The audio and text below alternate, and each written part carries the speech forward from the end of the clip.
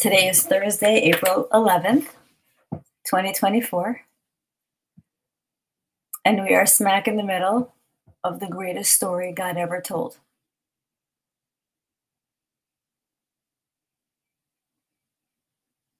I'm going to wait a few minutes to see who can join.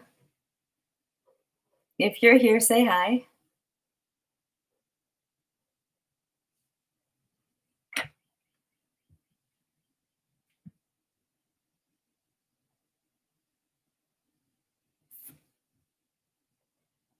Hi, Steve. Thank you so much for coming.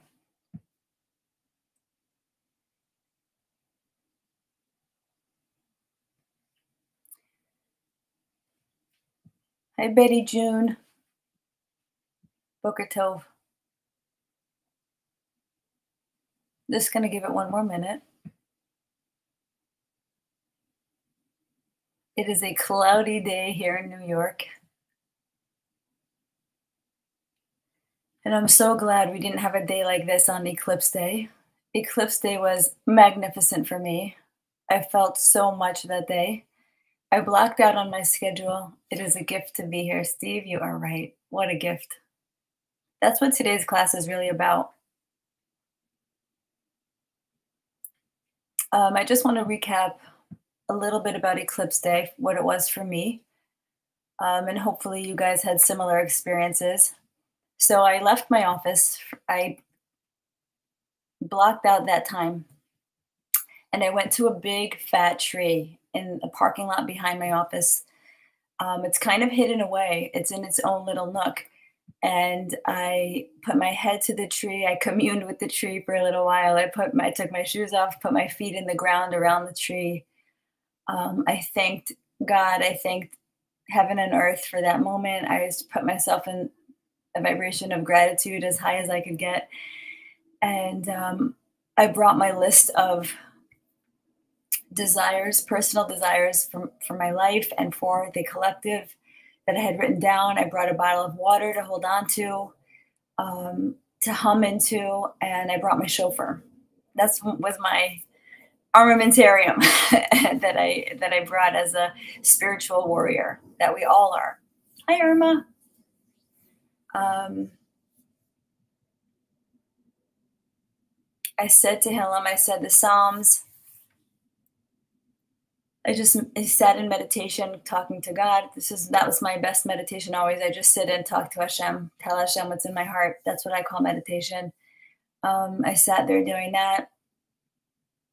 And then at the moment, at the four minutes and 28 seconds, I held my shofar up to the sky with my toes in the earth, my bare feet in the ground. And I pointed the shofar, which was a straight line, just like the planets that they were lined up in a straight line. For all the Shefa to come funneling down to us. Usually the planets are in a zigzag. The Psalms, I said, Psalm 67 is to help align the planets so they don't have to go through the zigzag of the sefiros. They can come to us in a straight line, like the planets are the sefiros. They were lined up that day, and hopefully, that we opened up that portal of blessings for humanity to come flooding in, pouring in, in a way that we can receive them with joy, with peace, with ease.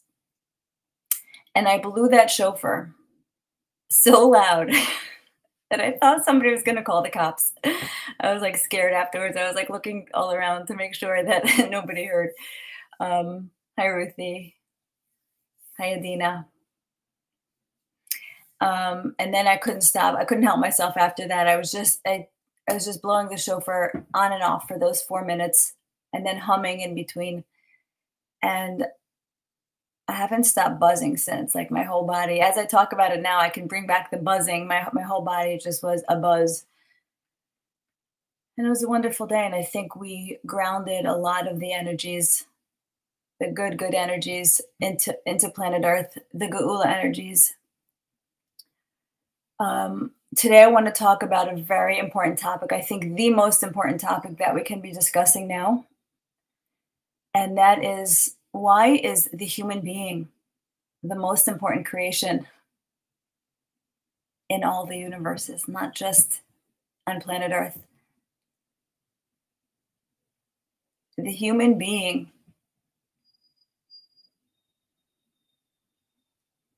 has something special. And I want to play for you guys. It was so funny. It was such a divine redundancy.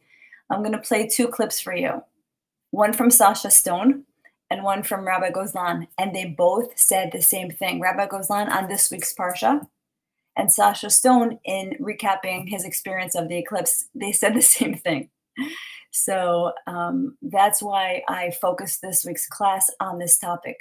Why is man, why are we the heroes of the galaxy? And we don't even know it. We don't even know it. And that's why we are it. It's in the not knowing is why we are the greatest movers of creation. It's the free will. It's all about the free will.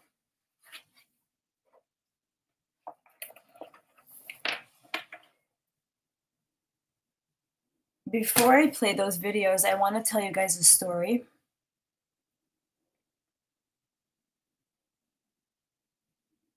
I'm going to talk off the cuff for a little bit. This is the plan for today. I'm going to talk off the cuff, tell you my thoughts, my ideas.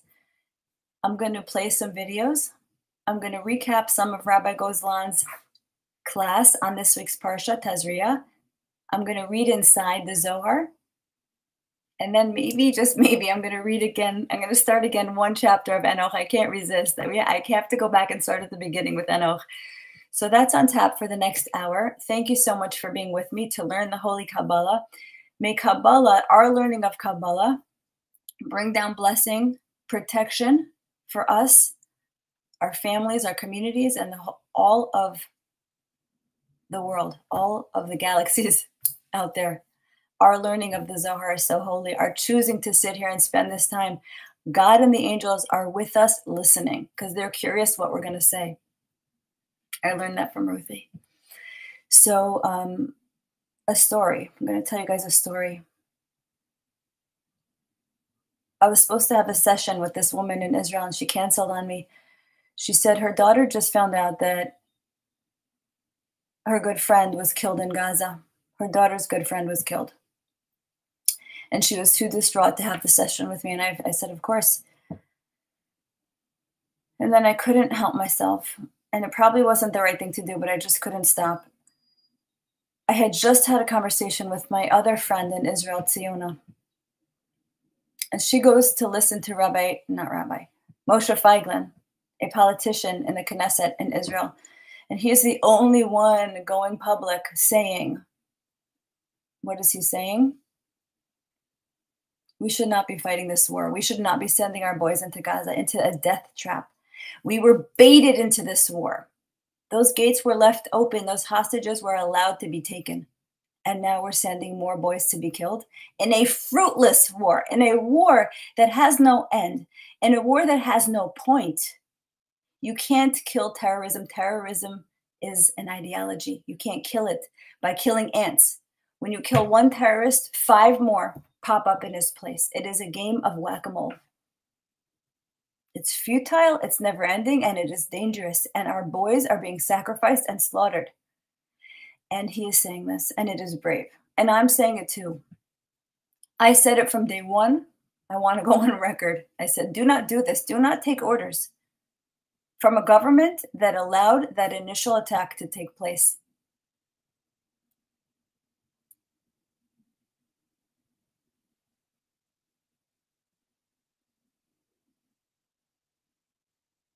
And here we are six months later, and people are waking up.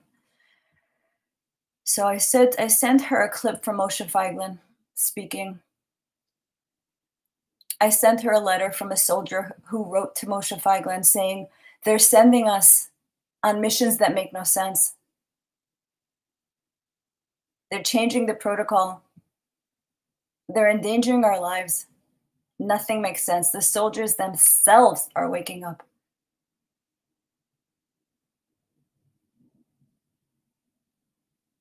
This friend said to me, she texted me. I said, Why are we in this war? She goes, She said the words. She said, We have no choice. We have no choice.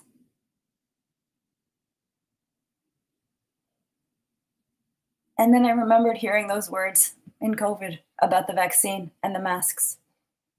We have no choice. We want to keep our job. We have no choice. We want to go on vacation. We have no choice. I want to walk around Walmart. you know what I mean? Like, I remember walking around Walmart without a mask, and I was the only one. And my kids were embarrassed. And I want to say something really important.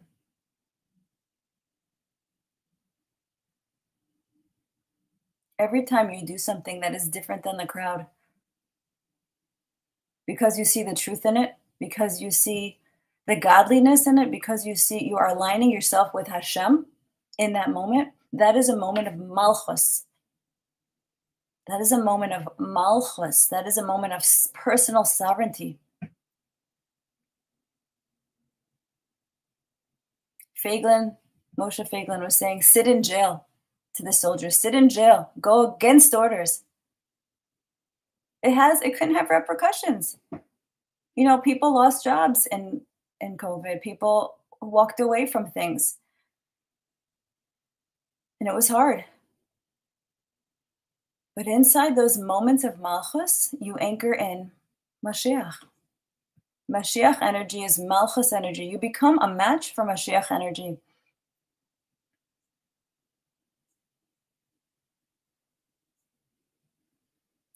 And it is our accumulated moments of Malchus over lifetimes, not just this lifetime, over many lifetimes, these moments of Malchus, when you make a decision for yourself to align, align your life with purpose, with your purpose, with your soul's mission, with God, with what you know to be right, and you go against the orders and you go against the what the crowd is doing, what groupthink is doing.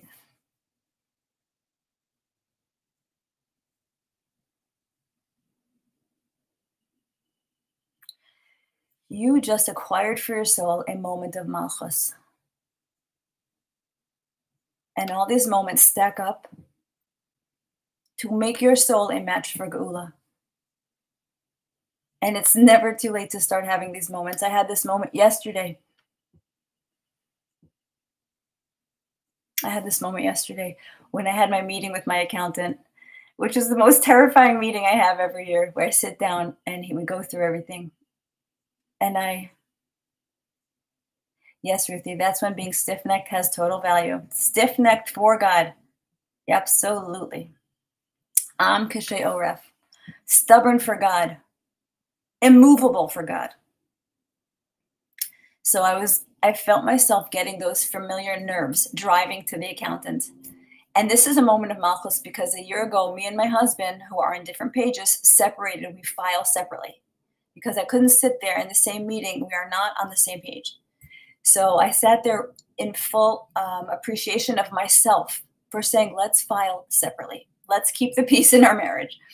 So I, and it was a fun meeting because of that. The tension was there's no tension in the room. I was playful with the accountant. Thank God I love this accountant because he does what I ask him to do. And I sat there anchoring in my malchus, telling him, we're going to do X, we're going to do Y, and we're going to do Z. And he said, okay. He tried scaring me a little bit. But I said, nope, it's all going to be good. It's all going to be okay. This is what I'm doing. And it was huge, a huge moment of malchus that I acquired from my soul. And when God says he's going to give tzaddikim 310 planets to rule in the times of Mashiach, it is because we have acquired these moments of malchus. We proved ourselves when we're submerged here in the dark. No idea who we are, where we are, what we are. No idea, a blank slate, total amnesia. And we do these things to prove our malchus, to prove our sovereignty, we're proving ourselves to God. This is the test. Are you sovereign enough to be a match for Mashiach?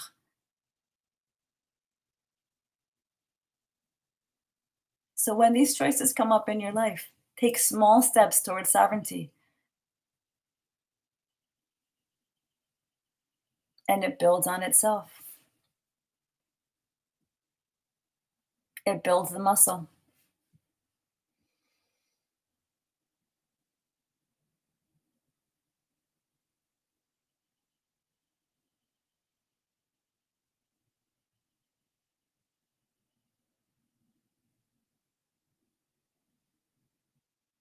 The next interesting thing that I want to talk about is hope. Shifra Hendry texted me early this morning about hope. And I took that as a sign to talk about it because it had been brewing in my consciousness about hope. Why? Because I had this thought that those of us, you guys out there listening, we are the leading edge, the advancing front the highest apex of consciousness right now on the planet. Why? What's special about us? And I'm not saying it in arrogance. I'm just, I put the pieces of the puzzle together. What elements about our group here makes us the leading edge?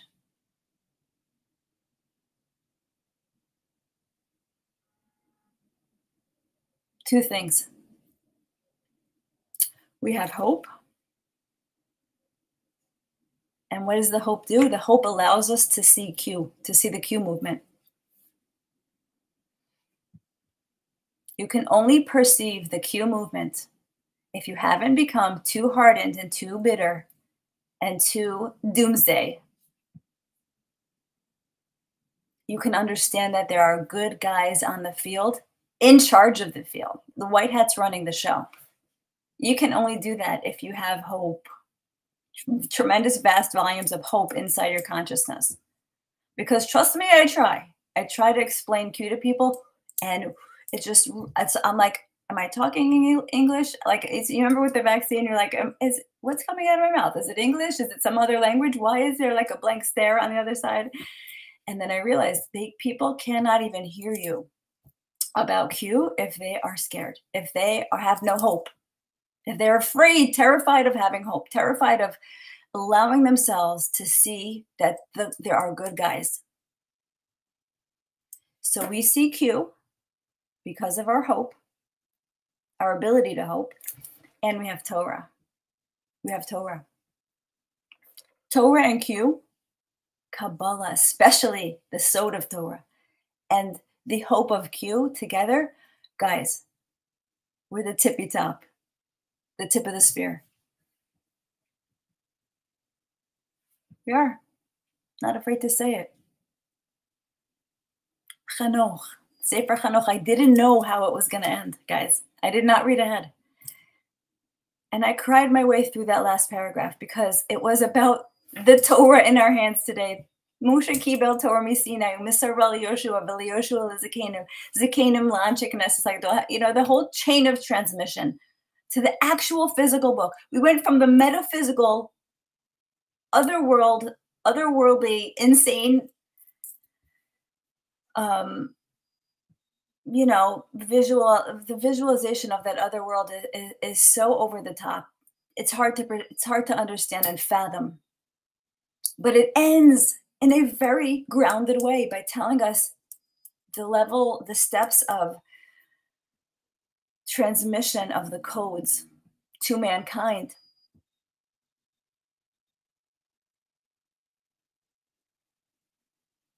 We have it in our hands. We have the Torah. This is what makes mankind the most important creation.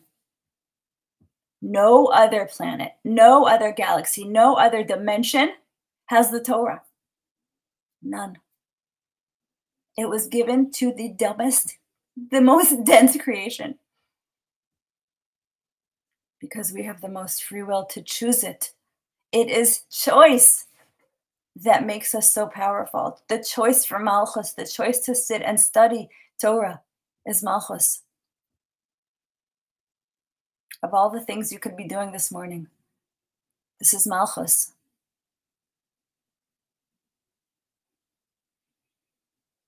I had an analogy come to me because I was talking to my sister Miriam and I was telling her this thought. And she's so brilliant. She just like lets out these one liners that I'm like, that was brilliant. So I said, Can you believe we have the Torah? Like it's crazy that we have the nuclear football. Like eh, like God's encryption of the source of reality. It's the source code of reality. You know, like the, the code of computers. Like how do how do computers work because of this mumbo jumbo? The Torah is the source code of reality. How reality around us exists is coded in the Torah. And she goes, Miriam goes, Yeah. And we're like, we don't even know what we have. We're dumb. So then uh, the analogy I thought of was it's like having a garment. God gave us a garment, and we've passed down this garment through all the generations. Each one of us can wear it. But what we don't understand is that sewn into the lining of the garment are diamonds, diamonds, like sheets and sheets of diamonds sewn in. And the enemy knows they cannot wear this garment. They're not a match, doesn't fit them. So the only way that the enemy can succeed is by getting us to not want to wear the garment, getting us to try and alter the, the garment, make changes to the garment,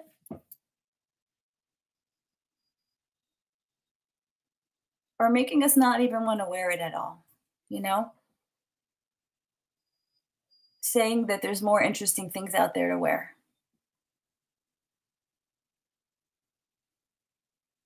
But once we understand what we possess,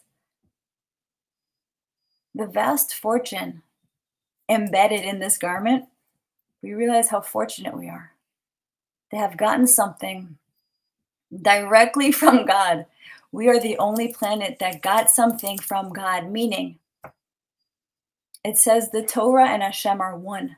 Hashem and the Torah are one. Whatever the Torah is, Hashem is. We're wearing God. We're doing God. And that's why it said Na'asev and Nishma. I think Ruthie said that last week in a comment in a comment. Na'asev. We will do. It is in the doing, the Nishma, and then we will listen. But we will always jump to do.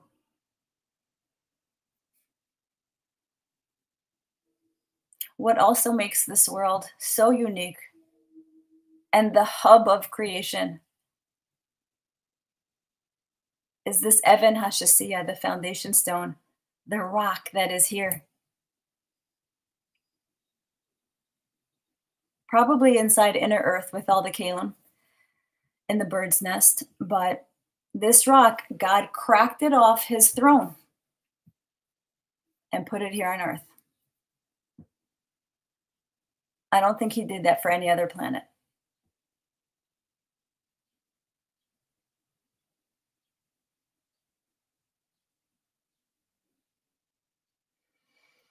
These are big ideas, guys. These are huge.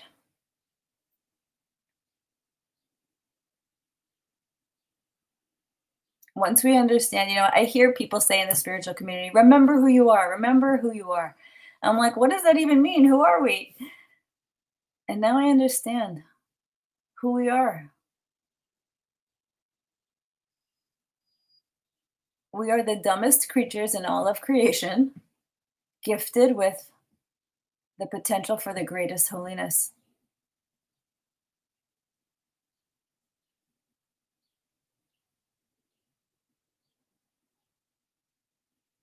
And the mechanism to acquire the holiness is free will, is choice. So that woman in Israel, I said to her, We have a choice. We always have a choice. Whenever that refrain comes up in your own head, but I don't have a choice, know that that is your moment. That is your pivot moment to say, I do have a choice. And let me take the choice that is the most powerful for my for sovereignty, for myself.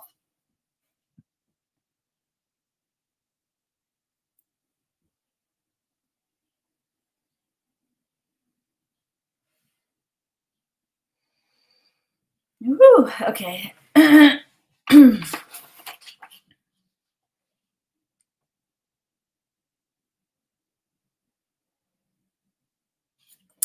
next thing I want to do is play a two videos for you guys.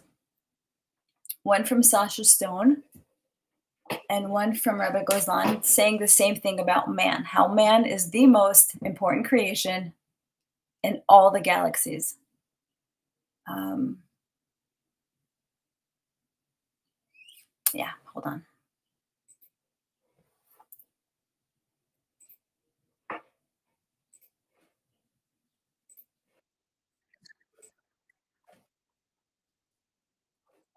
to activate that morphogenetic upshift, which doesn't just impact and affect us individually or um, societally, or even as a genus, it actually affects the entire cosmos.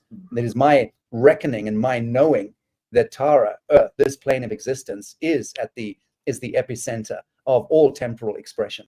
I am now in my middle age absolutely uh, in my knowing on this. I don't need to even engage any further discussion or debate on the matter. And these um, folks who maintain this somewhat entropic notion that um, that we're, we're not alone in the galaxy. Of course, we're not fucking alone in the galaxy. That's not the point. The point is uh, a lot of pundits will will in a sense diminish the importance of the human and say, well, we're just another squawking and grunting uh, mammal on the surface of planet somewhere on the fringes of the Milky Way. No, I think not. I think we are we have invested in us the entirety, the whole of the mind and the heart of God, so to speak, the Alpha and the Omega. Now, we may be eclipsed to that majesty by 97 or 98 or 99.999%, but the latency, the potency is there. Sasha Stone gets it. He's basically saying in much better language than me exactly the same point I'm trying to make. Um, let me now play for you guys. Rabbi Gozlan. This is about three minutes, and you need to read the subtitles. He's speaking in Spanish, so um, follow along in the subtitles.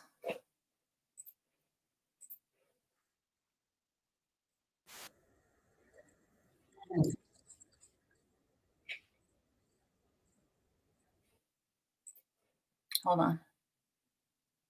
Try that again.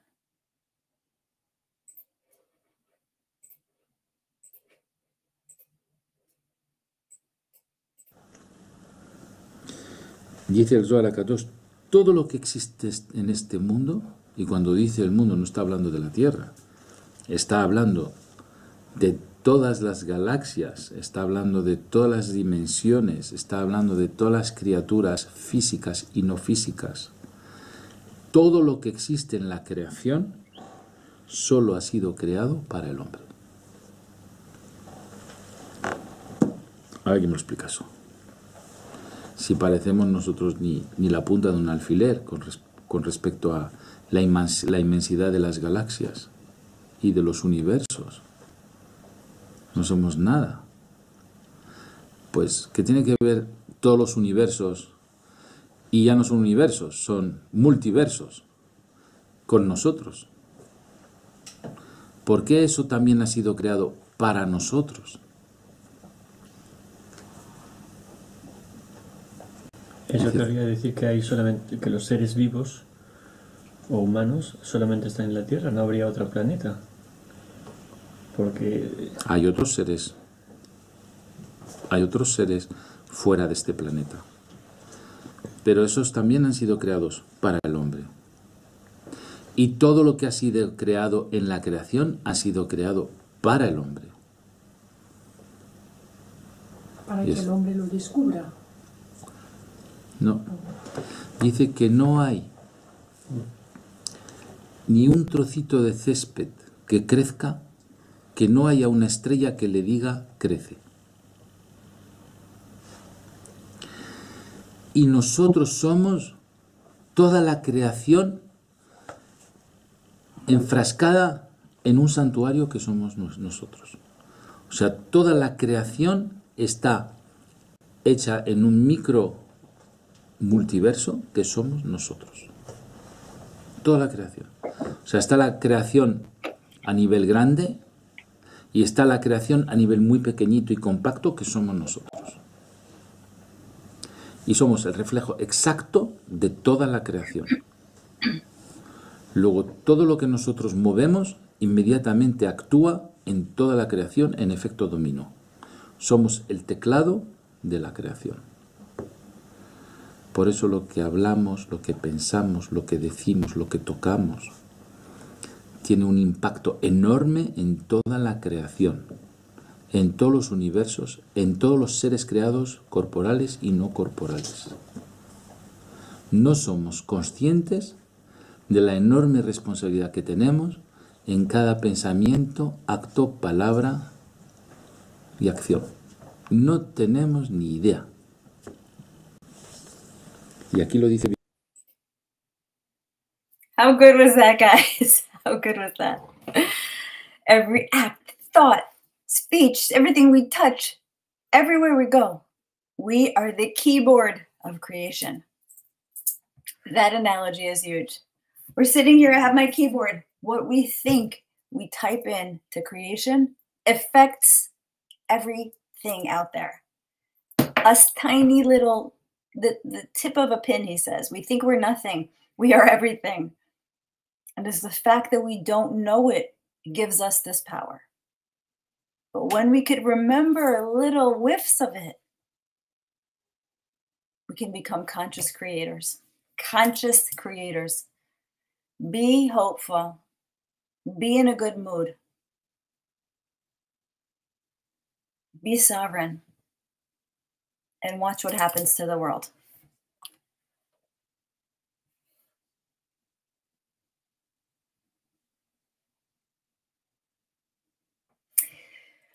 Um, okay, so the next thing I want to do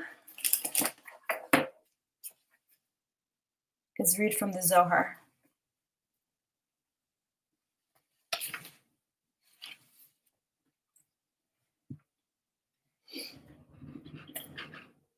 Where did I put my Zohar?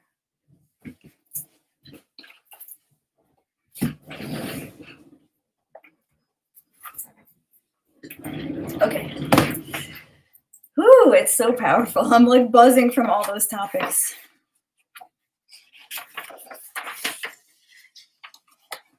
Okay, this is Parshas Tazria. You guys ready?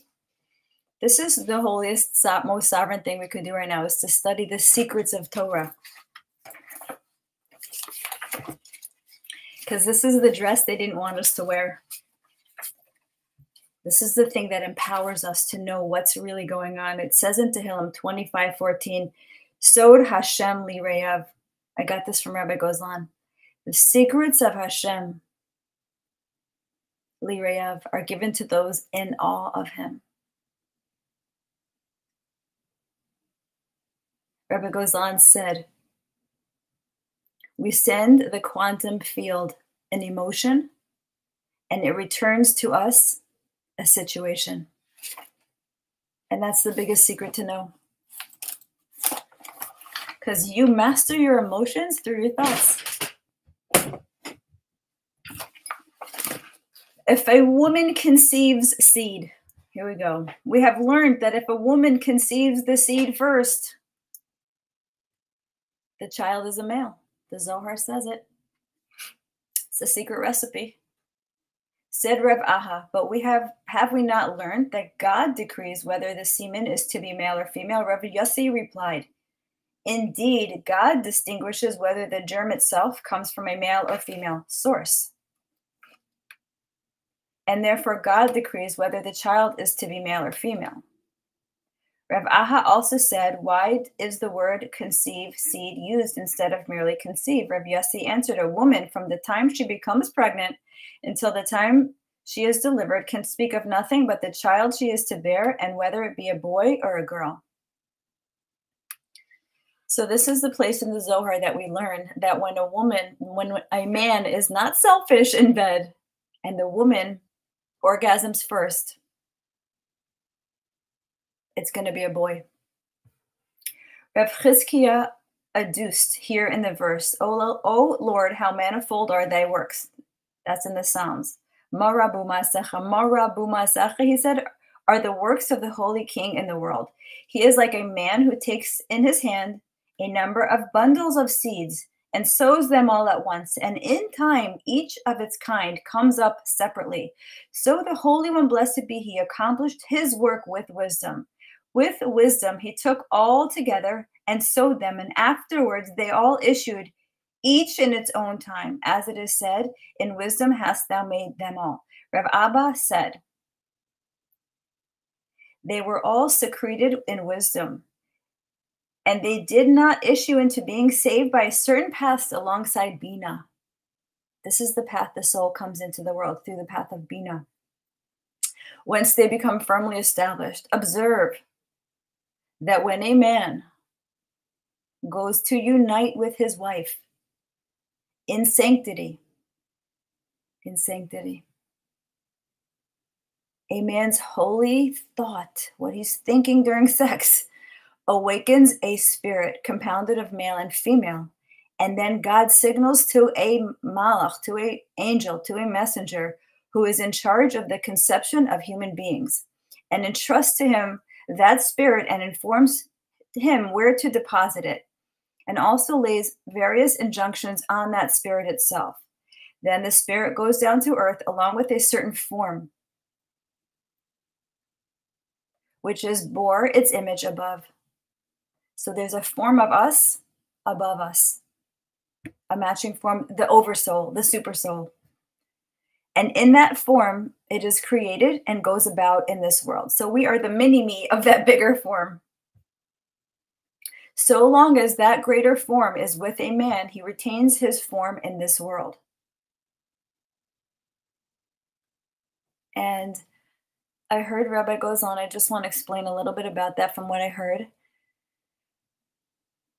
It calls Hashem Tzur. Hashem is the rock. Rabbi Gozlan, let me just get my notes on that. Rabbi Gozlan was saying about that. Tzur is Hashem's name. It means sculptor. God is the sculptor. And God created the image of our higher self, which is more wise, more connected, more beautiful, more kind, more generous. It is the best version of ourself.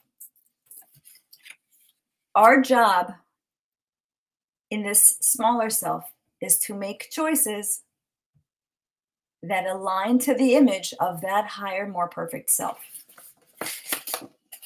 I also love Tzur, the name of Hashem Tzur, because that's my grandson's middle name. And my daughter said it just came to her in a dream.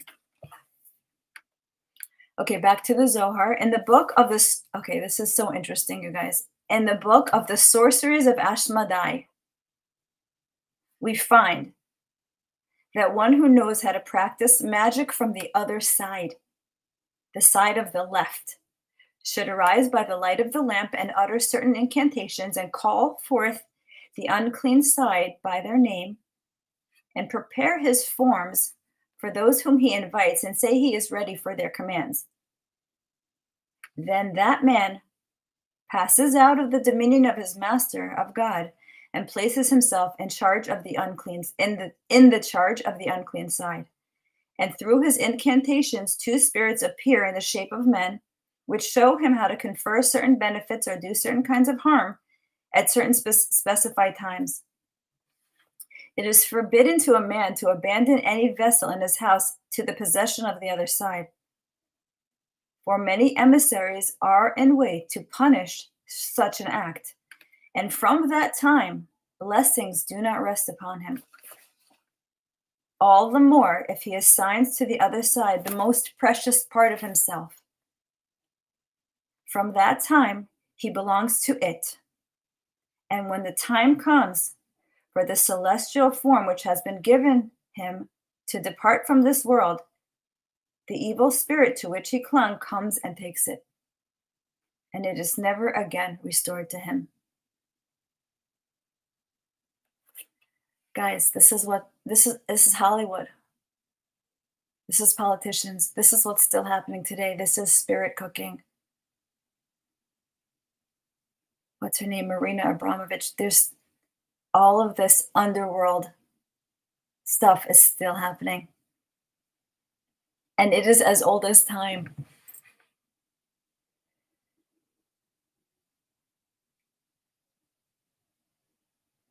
when the soul is about to descend to this world, it first goes down into, into the terrestrial Garden of Eden. And what does it see there? It sees the glory of the souls of the righteous.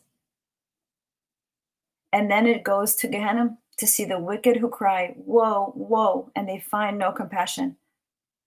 That holy form stands by him until he emerges into the world, after which it keeps him company and grows up with him. Observe.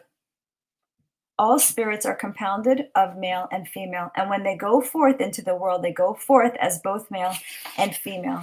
And afterwards, the two elements are separated. If a man is worthy, they are afterwards united.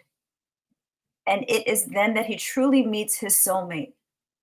And there is a perfect union in spirit and flesh. Hence it is written, when a woman conceives seed and bears a male, and not a male and female together, since on account of the ways of the world they are not united at birth, as they were when they issued from on high, because the first man and his mate sinned before God. Therefore, they are separated until, if a man is worthy, it pleases God to restore him to his mate. But if man is not worthy, she is given to another. Rev Eliezer said, This is not so. All at first comprise both male and female, and they are separated afterwards. But if the woman bears a male, then they are united from the side of chesed. And if she bears a female, this side is then predominant. Hence, if the male child issues from the side of the left, he is effeminate.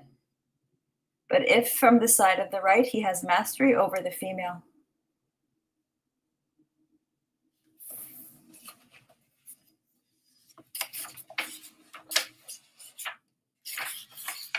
Okay, next topic in the Zohar. Rev Abba then discoursed on the verse, and he said, Let me go, for the day breaketh. Genesis 32 26. This is when Jacob was fighting with the angel. Why was not the angel able to prevail over Jacob? Because the sun had risen and his strength was crippled. For when the light appears, all the emissaries of punishment are restrained, and then the community of Israel communes with the Holy One, blessed be He. That's why we're learning at the break of dawn, because this is the most mercy filled hour of the day. At that hour is a time of grace for all, and the king holds out to her and all who are with her his scepter of the thread of grace so that they may be wholly united to the Holy King. Observe this.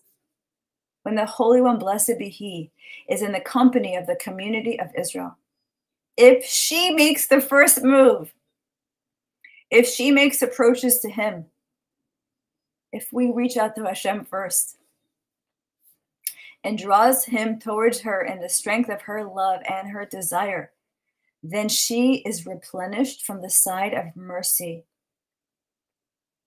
and multitudes uh, from the side of the right are found in all worlds. But if the Holy One, blessed be He, has to make the first move, is the first to make advances, and she only rouses herself afterwards, then all is on the side of Gavura, the side of the female, and many multitudes arise on the side of the left in the world.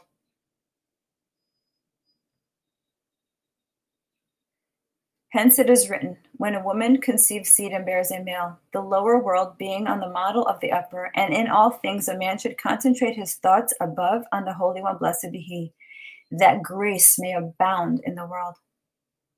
Happy are the righteous who know how to concentrate their thoughts on Hashem. For it is written, Ye who cleave to the Lord, your God, are alive, all alive this day. Uh, Hadvekim b'Hashem chayim kolchem hayom. Deuteronomy 4 4.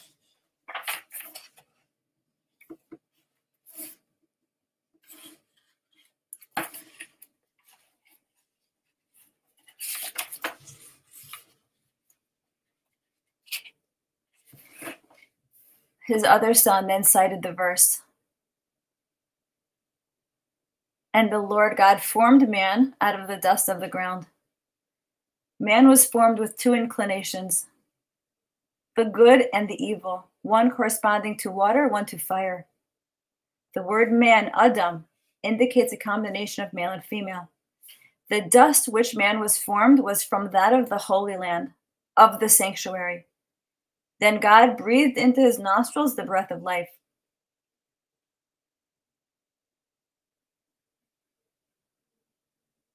This is the holy soul which derives from the life above. And the man became a living soul. He was provided with a holy soul from the supernal living being, which the earth brought forth. Now, as long as that holy soul is attached to a man, he is beloved of his master. He is guarded on all sides. He is marked for good above and below, and the holy divine presence rests on him. But if he perverts his ways, the divine presence leaves him. The super soul does not cling to him. And from the side of the evil serpent, a spirit arises which can abide only in a place where heavenly holiness has departed. So a man becomes defiled, and his flesh, his facial appearance, and his whole being is distorted. This is leprosy. This is what this week's parsha is talking about, the Metzora. Observe that because this living soul is holy, therefore, when the holy land absorbs it, it is called supersoul, neshama. It is this which ascends and speaks before the holy king and enters without hindrance into all gates, and therefore is called the speaking spirit. Hence, the Torah proclaims this is how we protect our soul, guys. Keep thy tongue from evil. Because if a man's lips and tongue speak evil words, these words mount aloft and proclaim, Keep away from the evil word of so and so, and leave that path clear for the mighty serpent. Then the holy soul leaves him, and he is not able to speak. The soul is in shame and distress, and is not given a place as before. Hence it is written, Who keepeth his mouth and his tongue keepeth his soul from trouble. That's Proverbs 21 23.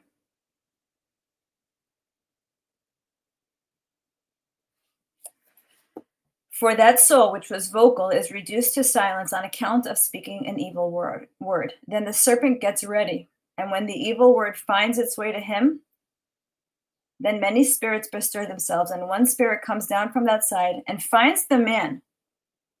One spirit, guys, comes down and finds that man who uttered the evil word.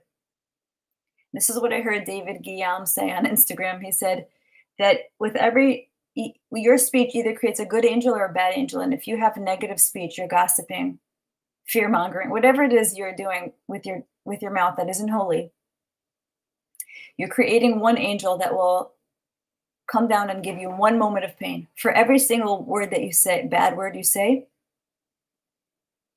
negative speech, which there are seven categories for you create an angel that's going to bring you one moment of pain. Just as a man is punished for uttering an evil word, word, so he is punished for not uttering a good word when he had the opportunity, because he harms that speaking spirit which was prepared to speak both above and below in holiness. Your oversoul is waiting for you to speak holy words. All the more so if people walk in crooked ways, and he is able to reproach them, reprove them, and does not. So if we see people doing something evil or bad or wrong and we don't say something, we're also held accountable for that. You got to see something and say something. Next topic. Similarly, whenever anyone makes a thing for idolatrous worship, when someone makes an idol, or for the other side, as soon as he mentions its name in connection with that thing, an unclean spirit rests upon it. Now, the, the Canaanites were idolaters. And whenever they erected a building, guys, this is so pertinent for our times, all the Masonic temples everywhere and all these buildings that have to come down, the 34 buildings that will come down. And this Zohar tells us why. You ready to learn this? This is big. Now the Canaanites were idolaters, and who, wherever they erected a building, they used to uh, they used to utter certain idolatrous formulae, and a spirit of uncleanness rested on the building. When the Israelites entered the land, God desired to purify them and sanctify the land and prepare a place for his divine presence. And so, through that plague of leprosy, see, God would show them where the evil was in the building through leprosy. He would demarcate the building. Through the plague of leprosy, they used to pull down the buildings which had been erected in uncleanness. Now, If they had done so merely that they might find hidden treasures, they would have replaced the stones afterwards. But the text says, And they shall take out the stones and take out the mortar, in order that the unclean spirit may pass away and the holiness return and the Shekhinah abide in Israel. Therefore, therefore, when a man begins to set up a building or build his home, he should declare that he is building that home in the service of God. Then the support of heaven is with him and God assigns holiness to him and bids peace with him. Otherwise, he invites into his house the other side. All the more so if his inclination is to the other side, for then indeed an unclean spirit will rest on that house, and that man will not leave this world until he has been punished in that house. And whoever dwells in, in that house may come to be hurt. If it is asked, How is one to know such a house? It is one in which man who has built. Okay.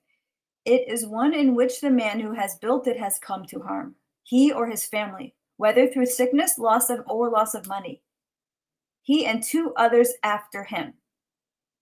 Better a man should fly to the mountains or live in a mud hut than dwell in that house.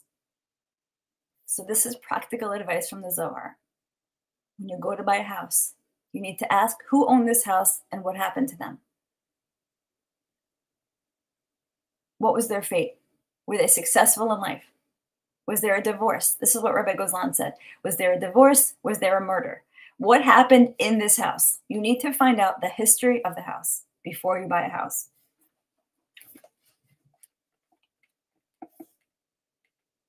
Therefore, God had pity on Israel, who knew nothing of all those houses when they entered Israel from the Canaanites. And he said, You do not know, but I know.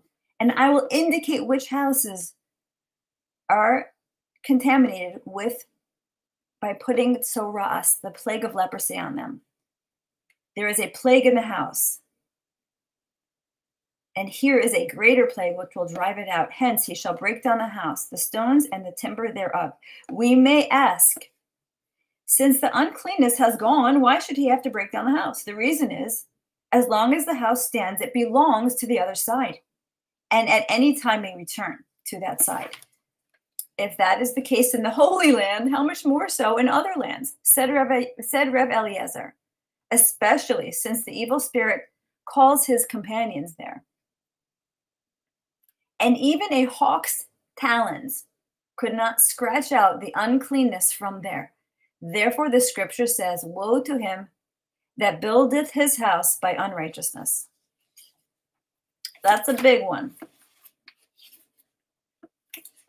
Okay, last one today from the Zohar, you guys. Last little bit that I wanted to read you.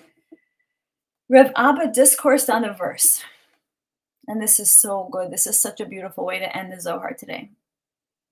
You guys are going to love this. Yes, Ruthie, every town everywhere. I've driven by, I'm like, that's another one. And all the windows are shut. The Masonic lodges, they're like bricked in. There's no real windows. It's so freaking creepy. And I think God will show us like he did back then.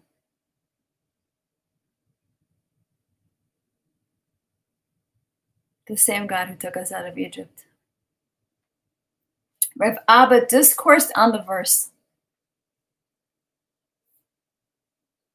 As in the day of thy coming forth from the land of Egypt, will I show unto him marvelous things. Micha 7:15. He said, God will one day bring deliverance to his sons, as in the days when he sent to deliver Israel and inflicted plagues on Egypt for their sake. Now, what is the difference between this deliverance that we're living right now? This deliverance, where Q, where 200 army generals got together in the time of President Kennedy and hatched a plan to take out the heads of Amalek that had their tentacles wrapped around this planet. One by one, they peeled off that grip and they showed tremendous restraint. The Q plan understood it was a long game, it wasn't going to be overnight. But they undertook the mission of Mashiach ben Yosef to eradicate evil from the planet. They took on the mission, the world's most biblical mission. And those of us who are not afraid to have hope can perceive the good guys on the field. Like Mel Carmine always says, he gave me that language, Mel Carmine. There are good guys on the field. And those of us that can perceive it are blessed because this is the military mechanism of Mashiach. The Mashiach ben Yosef phase one Mashiach ben Yosef, phase one of Geula. We are in the final days. Mashiach ben Yosef has been going on at least since President Kennedy. Well, maybe he's Mashiach ben Yosef. I still think it's Trump. Back to the Zohar. What is the difference between this deliverance and that of Egypt? The deliverance in Egypt was from one king and one country. Here it will be from all kings of the earth. Then God will be glorified in all the world. And all shall know God's dominion, as it is written, the Lord shall be king over the whole earth. Zechariah 14:9. And they shall bring Israel as an offering to the Holy One, blessed be He, as it is written, and they shall bring all your brethren. Isaiah 46 20. Then the patriarchs, the patriarchs, shall rejoice to see the deliverance of their sons. And so it is written, As in the days of thy going forth from Egypt, I shall show him wonders.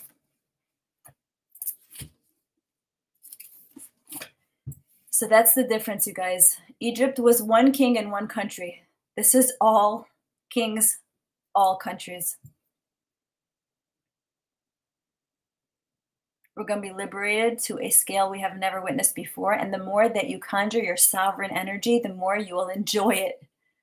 You will enjoy the ride. This is why man, this answers the question. This is why man is the most important creation in the universe because the more we conjure sovereignty in the dark, through our free will, the more we make this planet and all of creation primed and ready for God's sovereignty, for Malchus, because we're a match for it. And we are little mini versions of God. God put in us Adam, the word Adam, man, mankind, is Aleph, Alufo Shel, Adam, uh, Shel Olam, the master of the universe, plus Dam, blood, which is mankind. Adam is God, God telling us that he put himself inside of us. And we know from Gregg Braden, inside our blood is the DNA. And the repeating pattern in the sulfide bond is God's own ineffable name. God coded it himself into Torah and he coded himself into us. And this is why the enemy went for the DNA. And this is why the enemy goes for the Torah. Those are its biggest existential threats. And we just brought so much light into the world by acknowledging who we are and our powers and understanding that we don't have to be afraid. when we understand our creative power through our speech, thought, and action,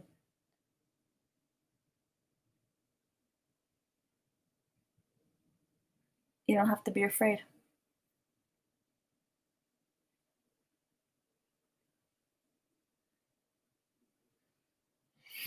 Okay, let's finish out with Book of Enoch, one chapter.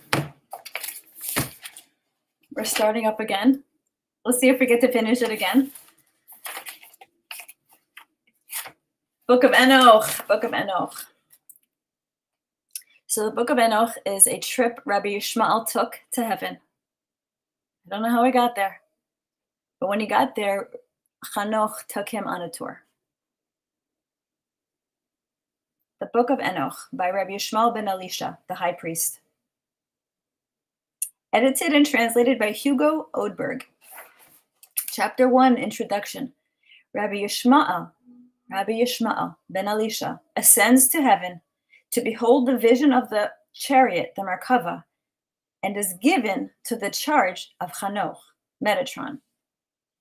And Enoch walked with God, and then he was not, for God took him. Genesis, verse 24. Rabbi Yishmael said, When I ascended on high to behold the vision of the Merkava and entered the six halls, the halls of Amenti, one within the other, as soon as I reached the door of the seventh hall, I stood still in prayer before the Holy One, blessed be He. And lifting up my eyes on high, towards the divine majesty, I said, Lord of the universe, I pray thee that the merit of Ar Aharon, the son of Amram, the lover of peace, the pursuer of peace, who received the crown of priesthood from thy glory on Mount Sinai, be valid for me in this hour, so that Kafsiel, the prince, and the angels with him may not get power over me, nor throw me back down from the heavens. For with the Holy One, blessed be He, sent to me Metatron, his servant, Eved, the angel, the Prince of Presence.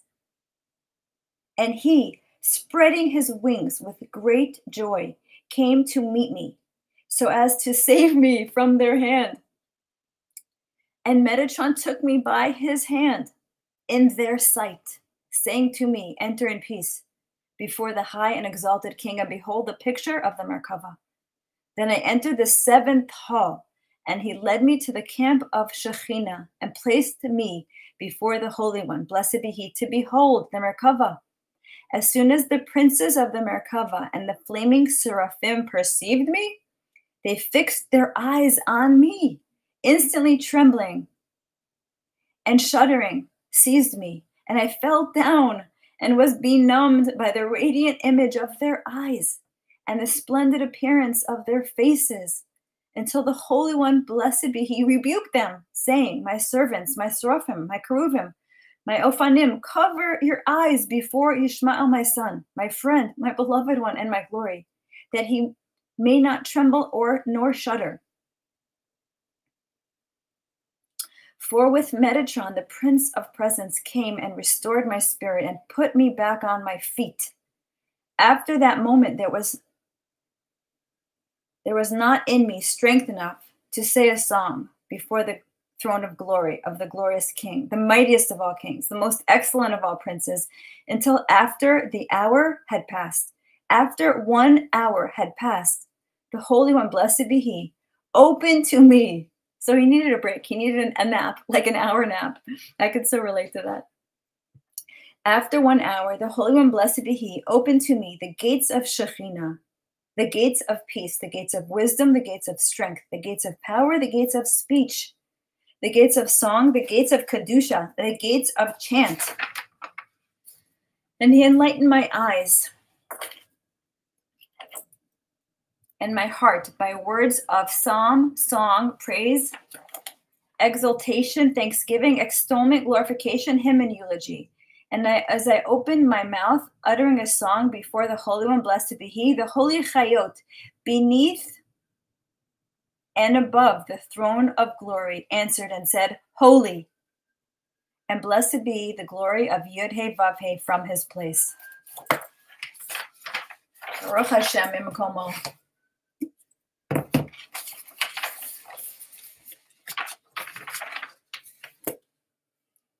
Okay, guys. Irma said, Hanoch is guiding us here every time you give us wisdom. I feel him here. I feel him too.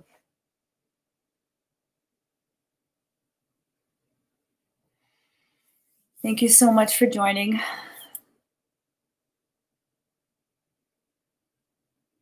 Thank you for getting it.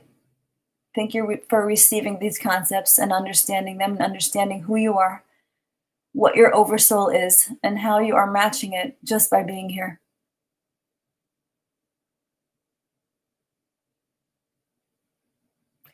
Next week, I'm going to go live on Wednesday because we're leaving to Florida for Passover on Thursday. So I'm going to see you guys next Wednesday.